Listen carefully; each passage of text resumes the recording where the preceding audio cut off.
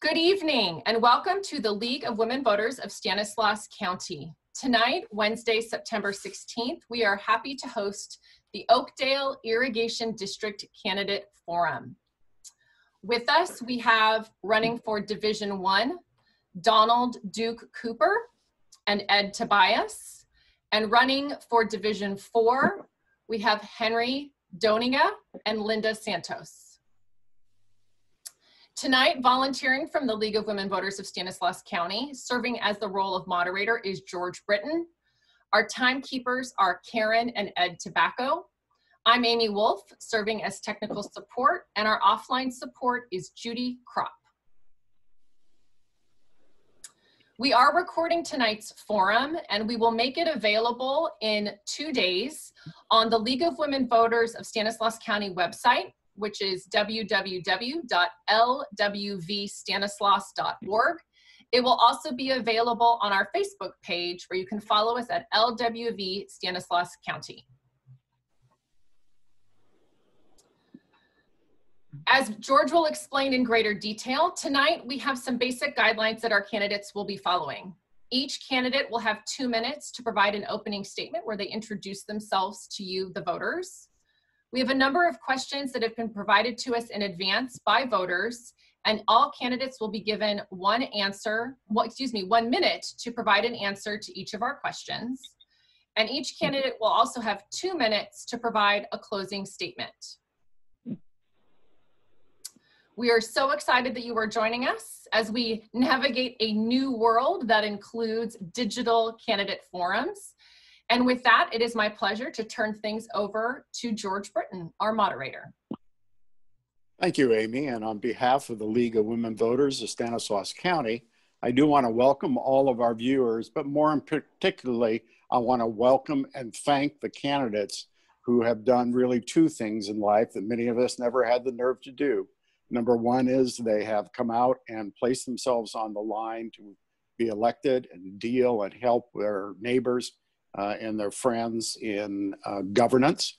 Uh, and number two, you've subjected yourself to this technology, uh, which, as we all know, is new for many of us. So, thank you very much for, for this evening. As Amy said, there will be opening comments. Uh, we have done a random selection of the order, uh, and we will be starting with Mr. Doctinga. Uh, Doctinga, Go Tinger, and I'm sorry, I apologize. Uh, and then Miss Santos, Mrs. Santos, and then we will ask Mr. Cooper, who is coming to us on telephone, and then Mr. Tobias in that order. Uh, a little bit about the League of Women Voters. It's a nonpartisan organization which encourages informed and active participation in government it works to increase the understanding of major public policy issues and influences public policy through education and advocacy. Just as an aside, if it's not obvious, they have now allowed male members, so uh, we encourage all uh, to become a member of the League of Women Voters. With that, I will read, I will uh, ask uh, Mr. Dotinga to please give us his two minute opening. Thank you, and be sure you unmute. All right, can you hear me now? Very well. Good. Well, hi everybody. I'm Henry Dotinga, and uh, I'm a retired automotive technician. Um, I'm a first generation American from a large Dutch family of immigrants and uh, we've been fortunate to live in Oakdale for 48 years. I grew up in the dairy farm business, and my family, faith, and education have been instrumental in developing both my work ethic and my ties to the community. I eventually became the head mechanic on my family farm, and I went off to pursue a career as an automotive technician. After 25 years in the service industry, I suddenly faced a series of health challenges. But my faith and the community provided a stable foundation that allowed me to move past them. I've been gifted with a second chance at life, and I'm committed to giving back to the community that showed me such steadfast support. I live on a small ranchette in Oakdale with my wife, Diana, of 37 years, and our four children. Uh, water, water is the lifeblood of the Central Valley, and the overreach of the state is disrupting our community and diminishing the prosperity of farms, business, and residents in our area. My goal as your director will be to preserve our water rights, increase reliable supply, and promote groundwater sustainability while allowing us to cultivate the harmony and unity that have been the bedrock of our Oakdale community for generations. Thank you. Thank you very much. Mr. Santos. Good evening. I'm Linda Santos. My family has been in Stanislaus County 150 years. Uh, my maiden name is Basso. The Basso Bridge out of LaGrange is named after my great grandfather. My husband and I uh, run cattle with our five children, their spouses, and 10 grandchildren. We all are recipients of the bountiful joys of growing up and living in this community. I've been on the OID board now for five years, and I'm running for reelection. I am adamant about making sure that whatever the district does as far as keeping our water here, it is done legally and above board and not shortcutted to make it a target for the state to take from us. I wholeheartedly want to continue what I have done from this point forward. There are so many things still to be done, and there are serious things um, that have not even been made public that the public needs to be made aware of. And I want to be part of that to protect our community. Thank you. Thank, thank you very much. Mr. Cooper? Yes, sir. Uh, good evening, y'all. My name is Duke Cooper. I've been in Oakdale for 32 years, married to a woman for 33, Patty. I'll tell you what sets me apart from the rest of the community is I served six years in the Marine Corps, two years active duty, four years reserve. I joined the construction trades, coming up as an apprentice through project management in the trade. Some of the biggest jobs that I've done in this area was TID's uh, turbine combustion power plant as construction manager at uh, on Service Road and NCPA uh, power plant in Lodi on Eight Mile Road. The the thing I think that really uh, sets it apart from me is is I have two neighbors within the last month where their wells have gone dry within 700 feet of my home. And the thing about uh, the, the power plants and other projects that I've worked on is I did I was in charge of all the infrastructure, bringing the water from TID and from NCPA's uh, water treatment plant, make sure that it was supplied on time. One minute. I got a proven track, I got a proven track record of bringing my projects in under budget and on schedule. And I think that uh, I live by the Marine Corps motto, Semper Fidelis, means always faithful, always true. I live that to this day, and I'm dedicated to this county to make sure that we keep all of our water here in our district. Thank you. Mr. Tobias. Okay, my name is Ed Tobias. Um, I'm a retired irrigation manager from Modesto Irrigation District. Um, I have a BS in agricultural science and management from UC Davis. I've taken continuing education at Cal Poly, UC Davis, UC Irvine, University of Nebraska Lincoln, and various CAPCA and PAPCA, PAPA classes. Um, 28 years in irrigation district experience. I started in water delivery, promoted to survey, promoted to engineering technician, promoted to irrigation superintendent, and finally to irrigation manager, where I spent the last 20 years of my career. Duties included overseeing water delivery diversions from LaGrange Dam to Modesto Reservoir, releases from Modesto Reservoir through the delivery system. Additionally, was in charge of construction maintenance, which included equipment operators, pipe repair, carpenter crews, pump crews, weed control, both aquatic and terrestrial. I'm a licensed pest control advisor, advisor with certification in plant pathogens, weed control, insects, and vertebrate pests. Um, I developed annual budget for my department, both capital and O&M, heavily involved with the irrigation master plan with Dr. Charles Burt and Bo Freeman. Before I came to Oakdale, I was on the Waterford Elementary School Board and they wanted a high school there. Um, we, we negotiated a settlement with Oakdale and unified both districts, passed a bond in Waterford and started building of the Waterford High School. During this process, I was really impressed with Oakdale and I moved here in 2003. I love this area, and all three of my daughters graduated from Oakdale High School. One thing that I wanted to emphasize, I spent a great deal of time with groundwater management at MID. We had 113 wells and uh, recorded monthly statics and uh, enjoyed, you know, I, I worked with that for probably 25 years. Okay, thank, thank you, Mr. Tobias. Okay, we will start our questions now. And the first person I'll ask uh, is Mr. Cooper, who will be on the phone. Uh, remember, it's a one minute response period. The first okay. question is What are the two major challenges you see are facing OID? And if elected, how would you address those challenges? Well, the, the major concern that I have for OID, number one, is some fiscal responsibility. And first and foremost is quit exporting our water for a temporary financial gain. With our groundwater uh, basin and our aquifers depleting at a rapid rate, we need to keep every drop of water. They're exporting our water right now, they call surplus. We don't have surplus water. We have uh, domestic wells that are going dry at a rapid rate, two within 700 feet of my home, and, and commercial wells. We need to stop uh, what we're doing. We need to stop living in the past.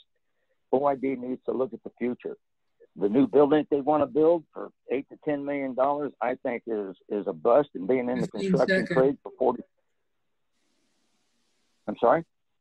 Fifteen seconds.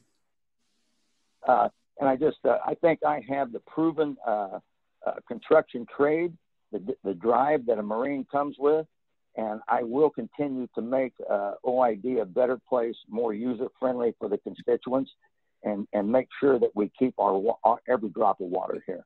Okay.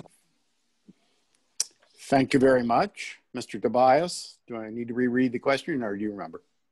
Please. Okay. What are the two major challenges facing OID? And if elected, how would you address those challenges? Okay, the, the, challenges that I see are the, uh, the state water grab. They're, they're trying to um, acquire 40% of the unimpaired runoff from the Stanislaus River watershed for the use of the state, which would greatly reduce our, our, our water. Um, it would really put a harm, put a, a, uh, a, difficult, put us in a really difficult position. Um, I know OI, uh, TID and MID have come out with a movie to the last drop, and it's it's it's a really informative type of thing. The the other challenge that I see is that we need to keep surface water being applied, which is we need to make sure that our surface water is used here, and we have to keep the rates low in order to do that. Um, it's a uh, it's a balance that we have to make because if if the, the rates go too high, they're going to start pumping, and then we're not going to be using the surface water that we have. That. Thank you very much. Uh, Mr. Dotinga, should I repeat the question? Yeah, go ahead. Okay, uh, what are the two major challenges you see are facing OID? And if elected, how would you address those challenges? Well, I, I think the, the primary issue is keeping our water local, and um, that that really boils down to uh, what's happening with the state. Um, it, it's inevitable that we're gonna we're gonna have to face that the unimpaired flows, and so whatever amount of water we do have allotted every year, um, making sure that that that our local farmers get the full allotment every year and that we make it available to our out of district farmers as well. Um, and the, the, the, second issue that I think is, is very imperative that we we work on stopping is all the pumping in the Eastlands, which is depleting our aquifer. Um, that, uh, th that is depleting our groundwater resources. And like, like uh, others have said as well, wells are going dry for small places like my own, and, and it's definitely a concern for people in our area. Thank you very much. Mrs. Santos. Yes, the, the two that I have focused on since I got on the board is the sell of water out of our basin. I have a track record since I got on the board. I have not voted for any water to be sold out of the area except for the very first vote that I took because I was uh, advised that that was what was needed for the district. I had a program, a five year program that I was supporting for the east side of our district that three of the uh, board members on the board um, voted down. They've tabled it. It could have supplied surface water to the ground pumping farmers on the east side of the district. I'm all for keeping water right here for our prosperity.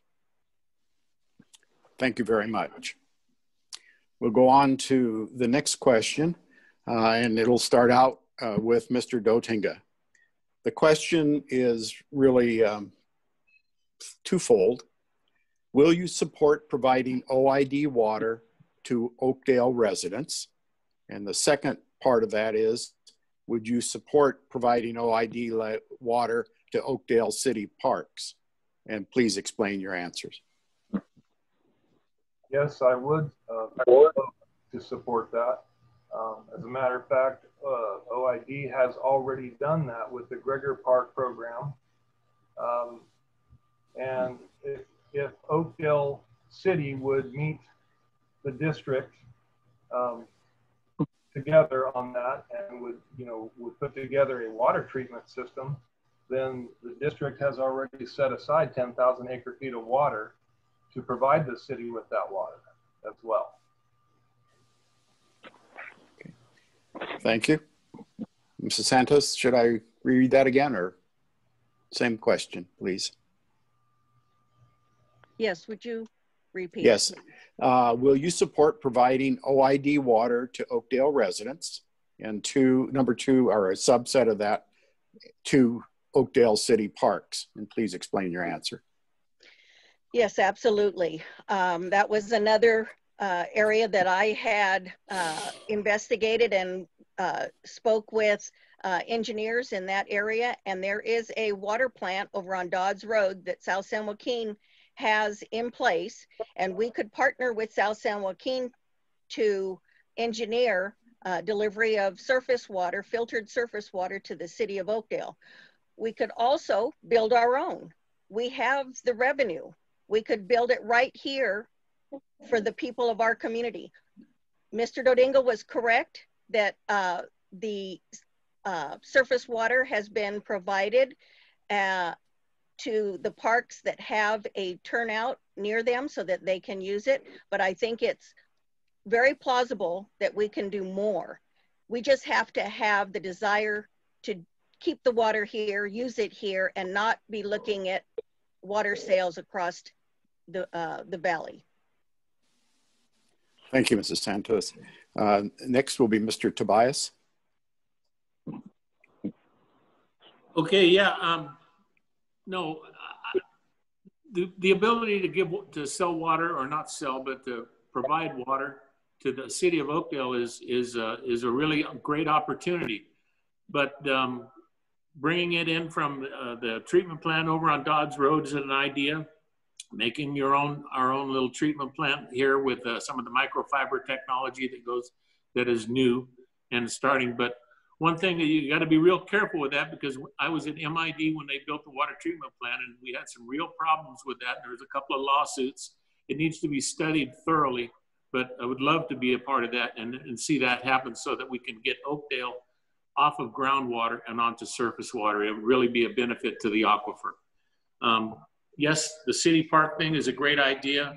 Landscaping with surface water, I've always been in favor of that. We tried to get that into the city of Modesto, but I'd love to do it with the city of Oakdale, and they've already begun that process. I'm fully in favor of that. Thank you. Thank you. And Mr. Cooper, do you need the question repeated? Um, no, sir. Okay, thank you. It's your turn. One minute. Well, I'm all for delivering the, the citizens of Oakdale water. The Oakdale's usage of water is less than 5,000 acre feet per year. Residents in Oakdale have had OID water in the past, and that's been cut off. But now the, to the parks, absolutely. We need to quit pumping. We need out of the groundwater basin using our surface water. Now the treatment plants, even Little Knights Ferry has a water treatment plant.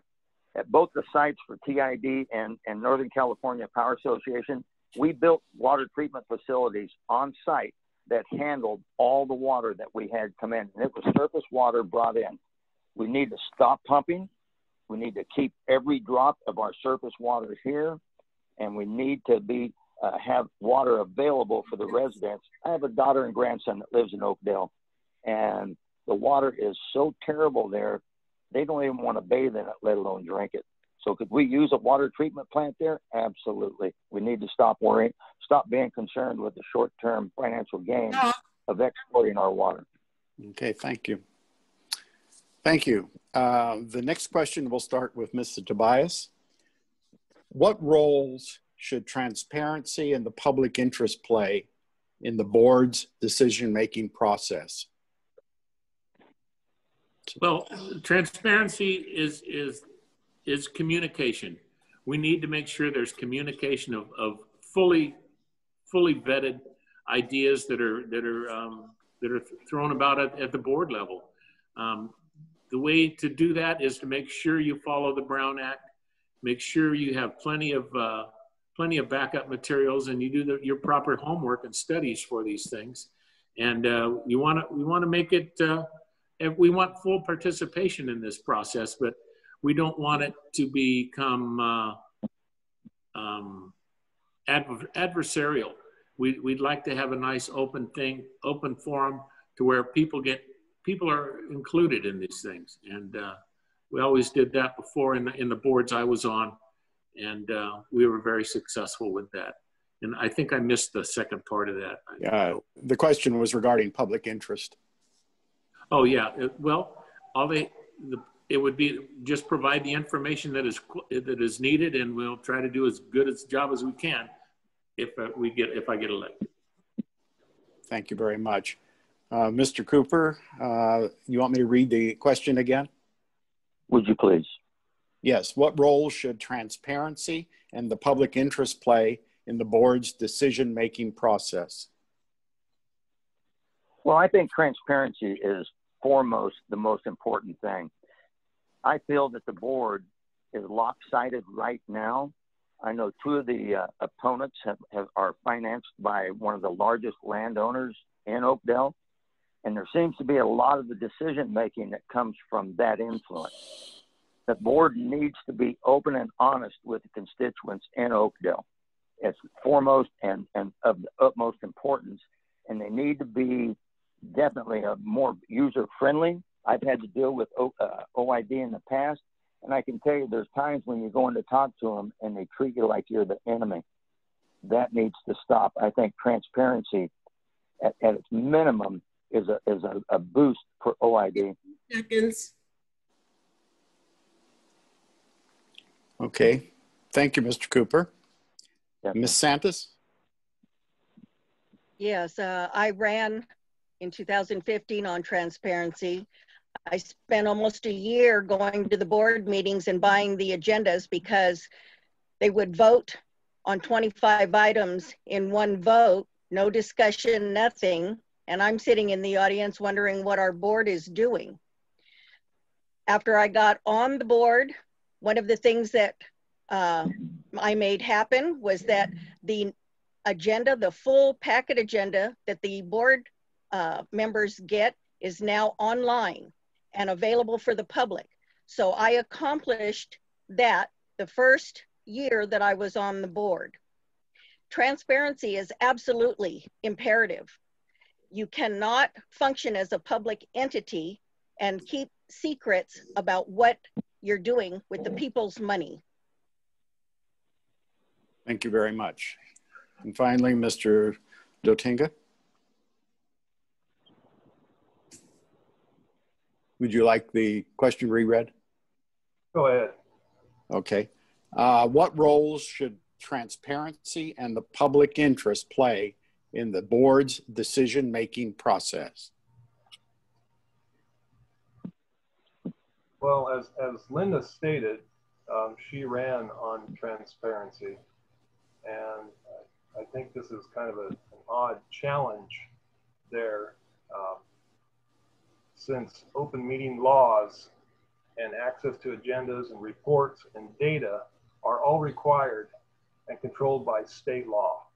So I'm not sure why my opponent thinks that OID is not compliant in that area. So, and she ran on transparency herself. And I, I've seen plenty of issues with her on the board where she was not being transparent um, and where there was a personal agenda behind what she was doing and the way she was voting and ruling on the board. So, yeah, transparency is important. And that's one of the reasons why I'm running against my opponent. Okay, thank you very much. Uh, the next question will start out with Ms. Santos. Uh, OID has a history, and, and you've been discussing this, so it's plowing some of the same field, but I think it's important. OID has a history of selling water to users outside the district's boundaries. Recently, a Bay Area developer discussed a long-term OID water purchase and transfer. Do you favor the sale and transfer of OID water outside the district? Please explain. Ms. Santos. Not at all the, I believe the water sale that you're discussing is one that has been in the works since 2015.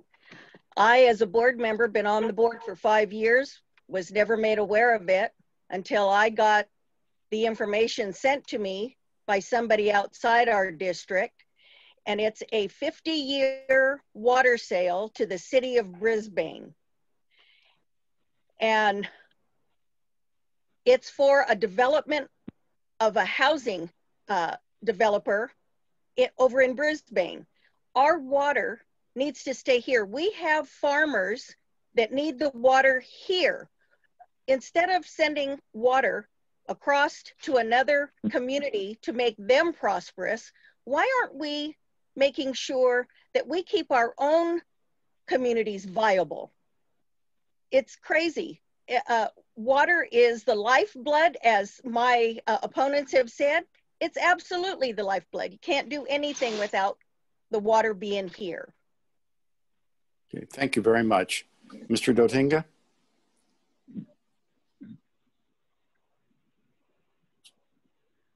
Mr. Dotinga? Repeat the question, please. Yes. OID has a history of selling water to users outside the district's boundaries. Recently, a Bay Area developer, and it was the Brisbane project, discussed a long term OID water purchase and transfer. Do you favor the sale and transfer of OID water outside the district? Please explain. OID has a history of supplying water to its in district constituents, and that is their primary focus. Secondly, they have made their water available to out of district farmers and and it's unlimited. They they they've been able to get their full allotment every year in district. Out of district farmers are able to do that as well, but they're not willing to pay for it. If they're not willing to pay the fair price for it, then OID needs to sell that water. They need to make money off that water because otherwise it's going to go away anyways. We are not allowed to keep that surplus water here.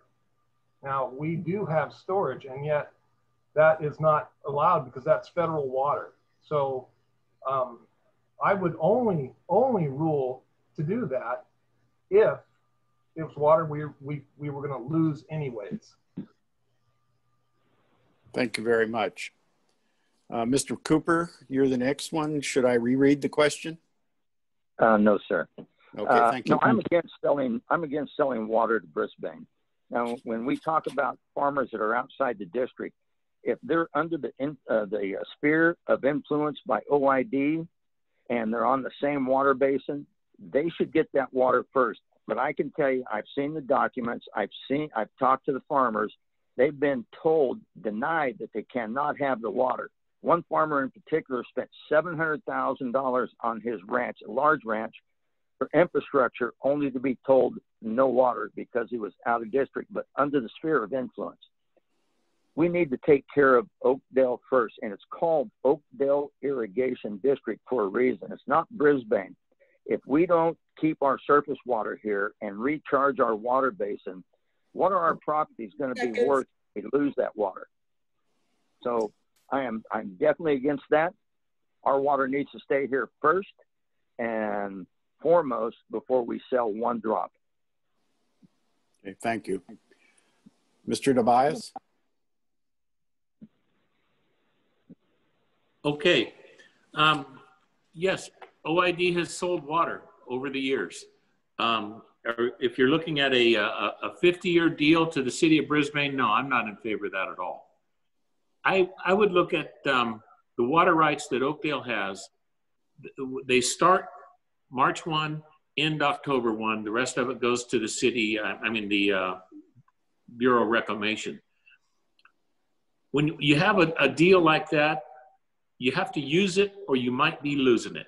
So if you take care of your in-district customers, which OID has done with the improvements they've made, and you offer it to out-of-district customers in the, some of these uh, pumpers that are um, outside of the district, I think it's a great deal. I'd love to sell them more water, but taking it to a, a long-term project to Brisbane, I'm, I'm not in favor of that at all.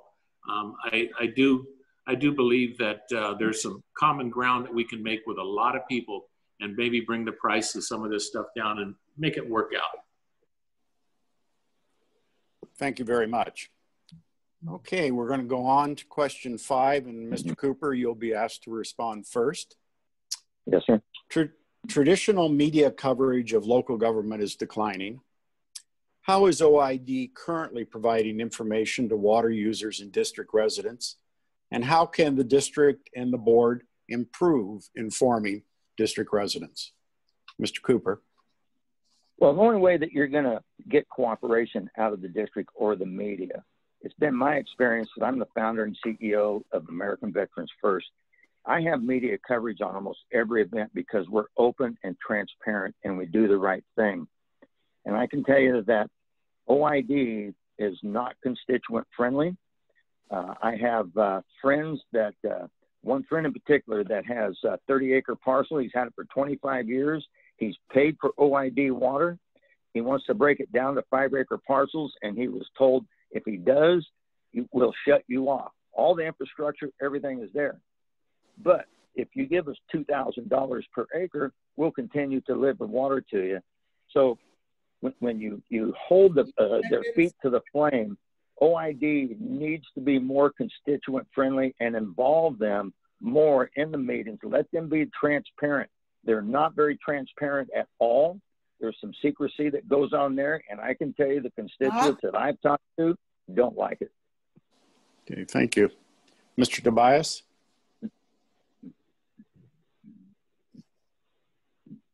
Can you repeat that question? Yes, of course. Uh, traditional media coverage of local government is declining. How is OID currently providing information to water users and district residents? And how can the district and board improve informing district residents? Well, currently there's newsletters that come out and looking on the OID website, you can, you can dial in and look at your water use. I'm sure you can talk to the people, your, your uh, distribution operator and, and, get that information there too.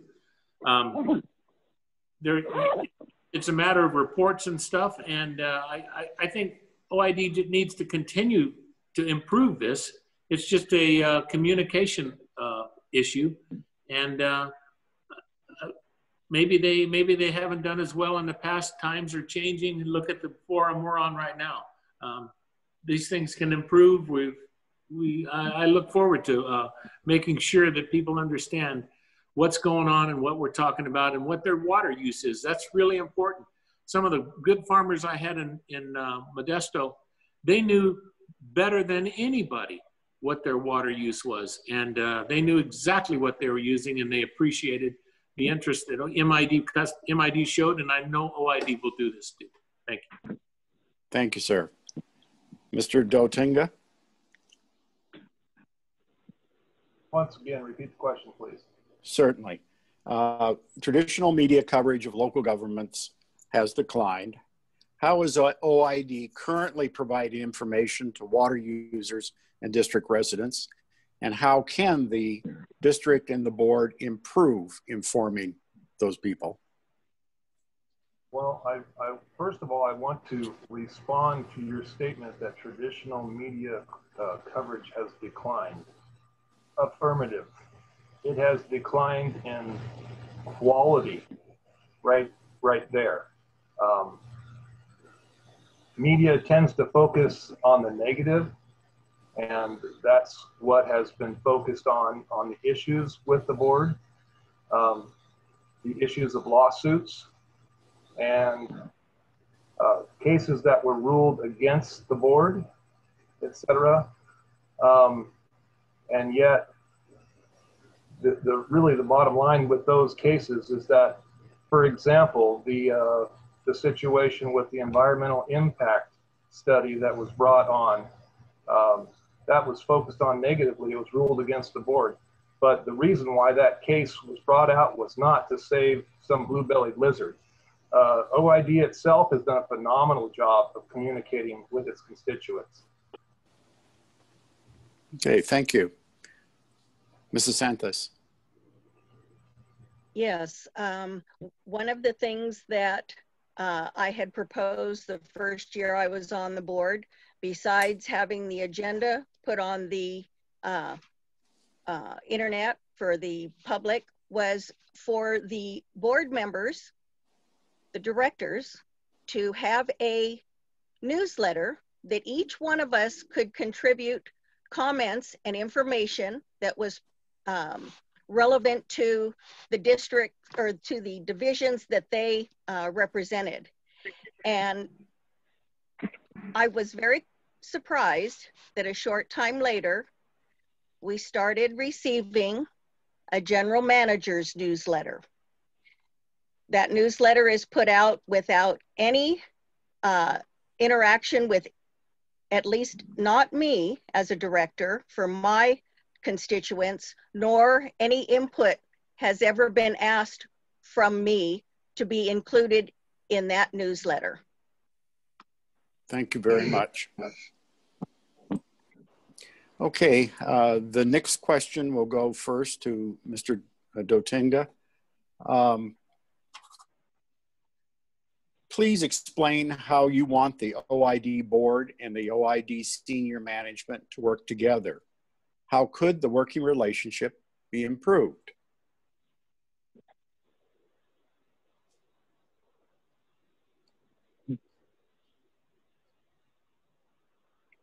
Mr. Dotinga? Could you repeat the question again? Sure. Please explain how you would like or how you want the OID board and senior management to work together. And how could that working relationship be improved? Well, I think that relationship could be improved by electing me onto the board. And, and one of my primary reasons for running is to stop the lawsuits that are going on between my opponent and the board. So the board can't function well when when they're not unified together. We're not working together. Now we're going to have disagreements. There's no doubt about that. But when you have lawsuits and money being wasted, taxpayer money being wasted on those lawsuits, the board cannot function effectively. So that's that is basically my position on that.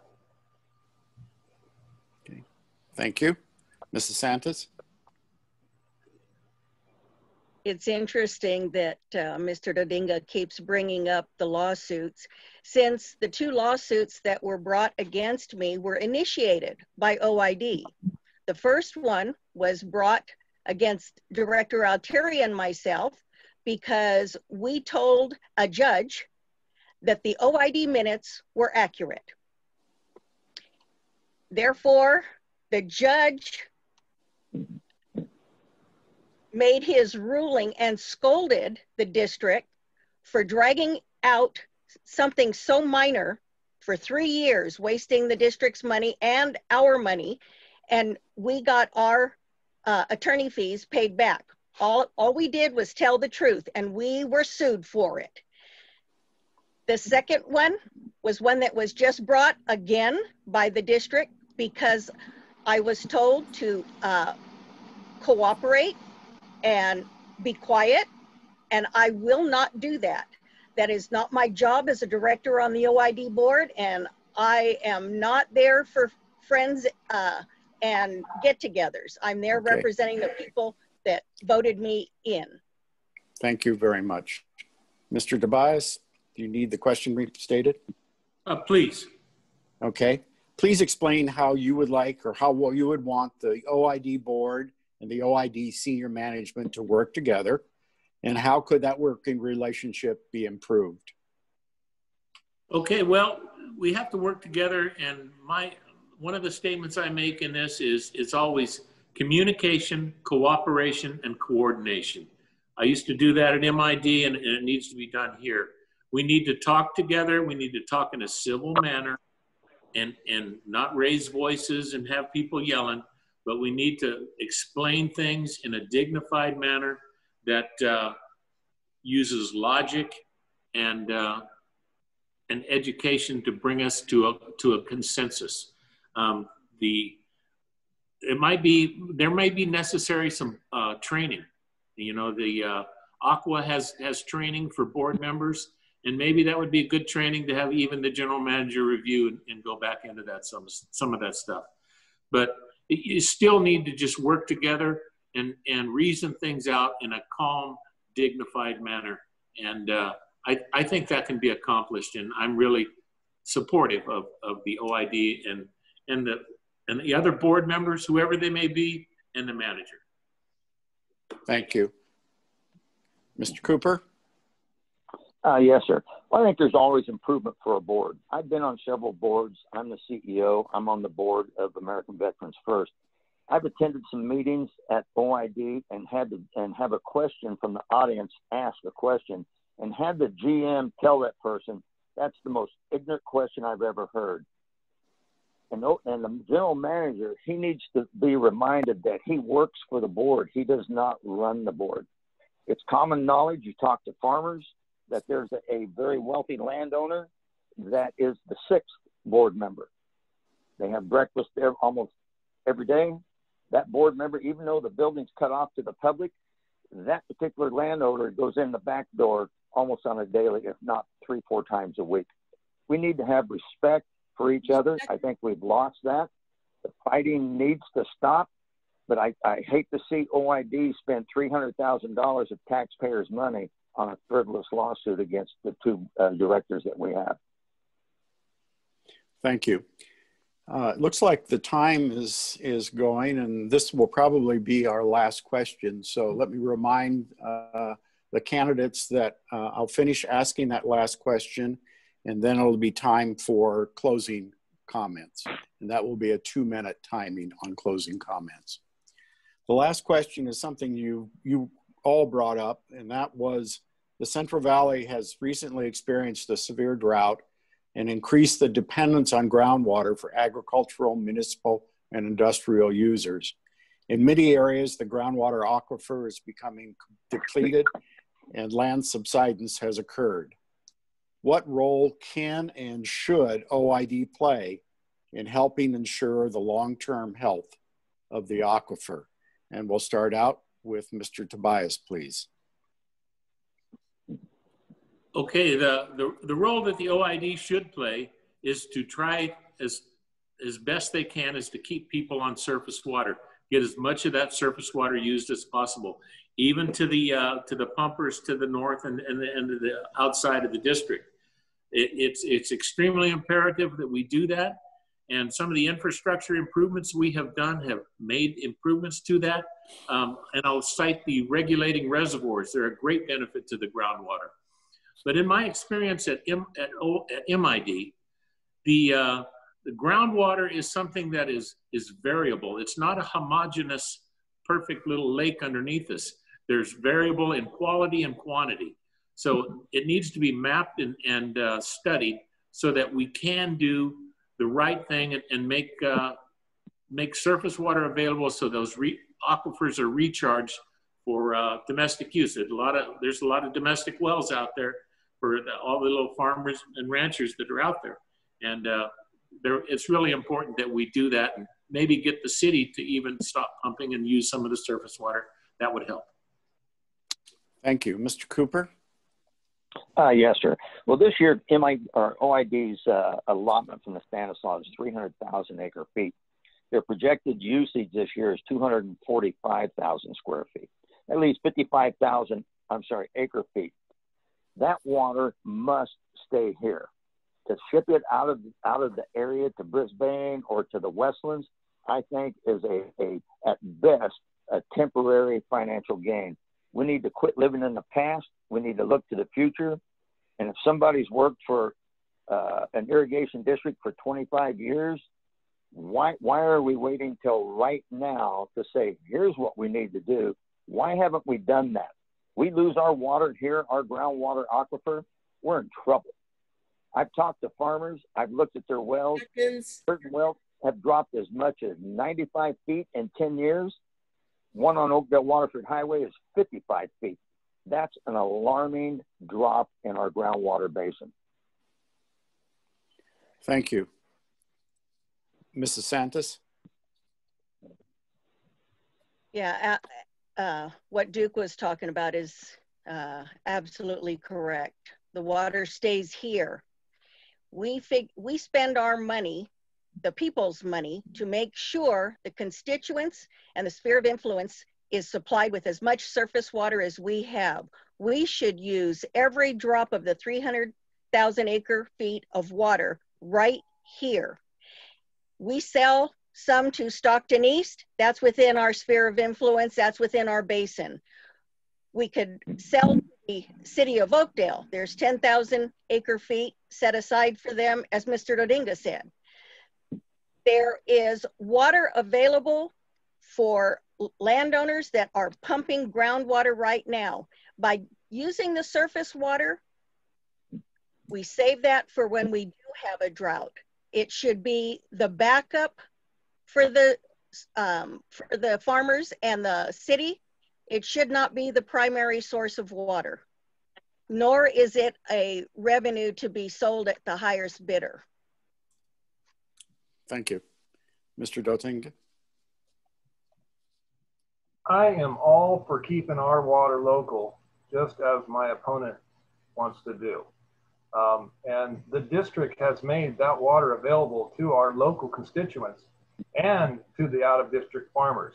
And if there's if there is anything left over that they don't buy, okay, the, the, the district needs to make money on that because that improves our infrastructure.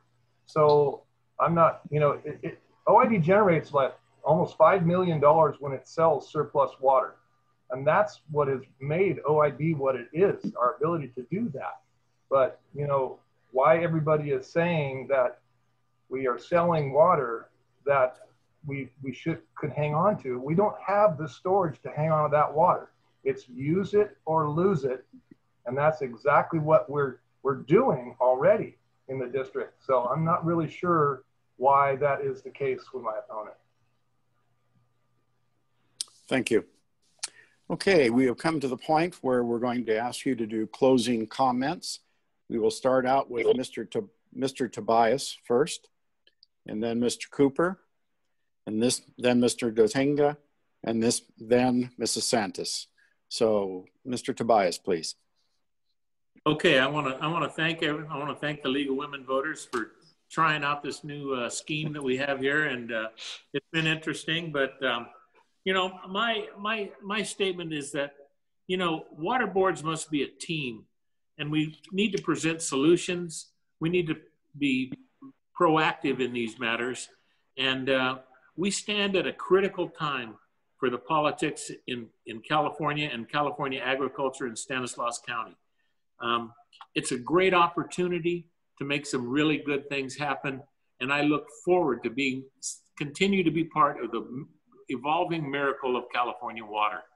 Um, one of the things that I think is, is not communicated quick, clearly is that the OID customer, the in-district customer has been paying for a hundred years to develop and, and run, build the canals, legal protection, staff, um, all types of, all types of things.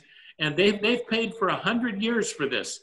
But the people on the outside have never paid a dime, but they're demanding the people that have paid for this all these years to take care of them. I think there's a balance we can achieve with that. I don't think it's, it's something that needs to be, uh, we need to uh, profiteer with them on. But I think there's a way to keep that here. But 55,000 acre feet, a difference you're talking about, that's a lot of water. And I don't know where you're going to put it all. Um, the, the OID irrigator has, has had enough water over the years, and we want to continue that. And we want to continue with the improvements that have, that have made the system more efficient so that we can serve everybody better. And uh, there's communication communication opportunities that we need to explore so that we can all get on the same page and get this done right. I really look forward for a positive direction. Thank you. Thank you, Mr. Tobias. Mr. Cooper. Well, uh, in, in, response to uh, OID water and the farmers don't want to pay for it, I've talked to farmers. They've showed me the documentations and the letters from OID refusing them water but yet the farm right next door, which is the largest landowner in Oakdale, he gets water. Now, that to me is an unfair, not very transparent situation that OID perpetuates on a daily basis. Now, the 55,000 acre feet, uh, the farmers I talked to, they said they will pay top premium dollar to have that water delivered, and they'll put the infrastructure in. So the, the rumor that goes around that they want it for free, I can tell you the farmers I've talked to, I've looked at letters from OID is untrue. These farmers need that water desperately. They're going to instead they're pumping as little water as possible. They're going to micro irrigating instead of flood irrigating. And these farmers, I've seen their wells, looked at the document, and where they've dropped 55 foot in 10 years, 95 feet in 20 years, what are we going to have in 10 more years? We can't wait 10 more years or 20 years. And if somebody's had 25 years on an MID board and we're just now coming to a solution to fix that problem, something's wrong there. Thank you, Mr. Cooper. Uh, Mr. Dotinga, please.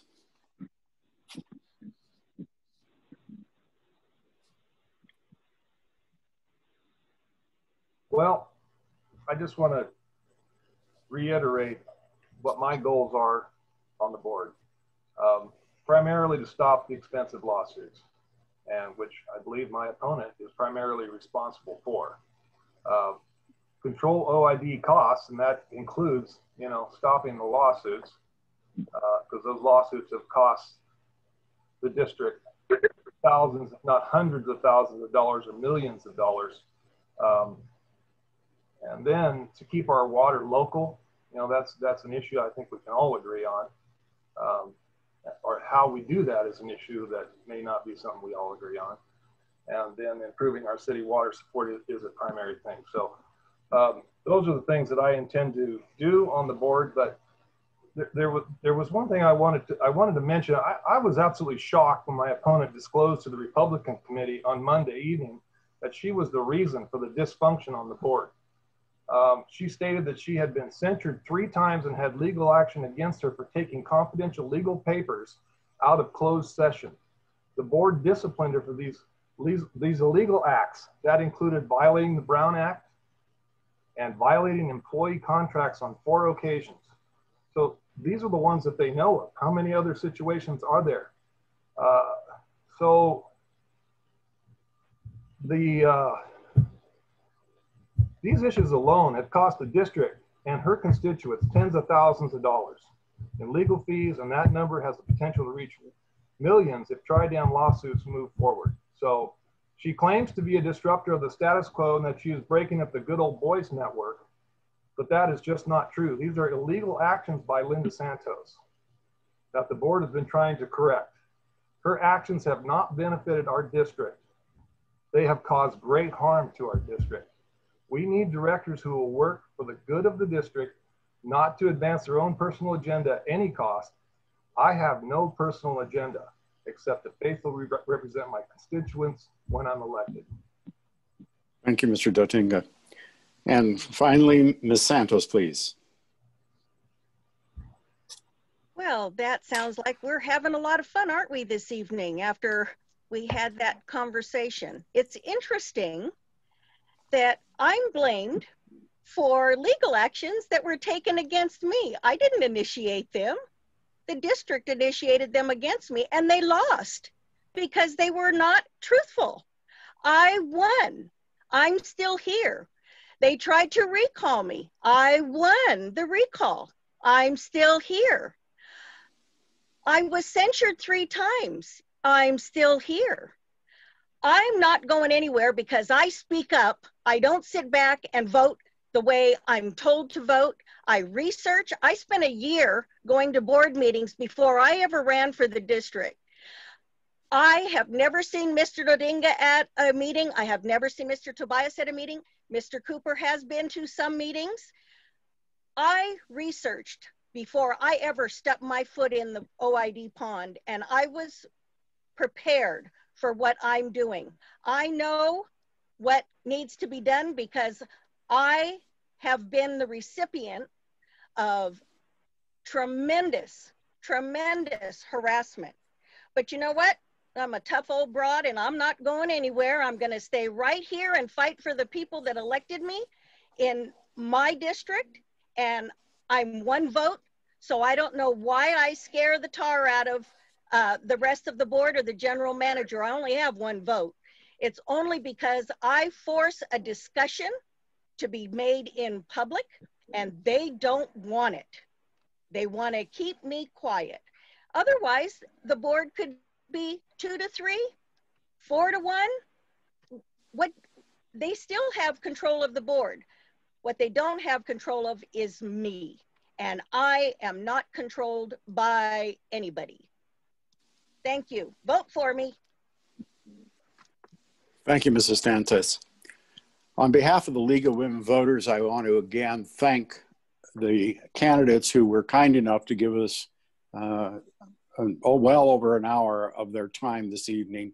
Uh, and we look forward to you uh, completing your races and hopefully uh, it comes out in a successful, uh, a successful election. I'd also like to give particular credit to Amy Wolf, whose abilities, uh, vigor, um, sharp stick, and uh, very direct knowledge of this technology has made this production possible. So thank you very much, Amy. And with that, I think I either turn it over to Amy or I say goodnight. Thank you, George.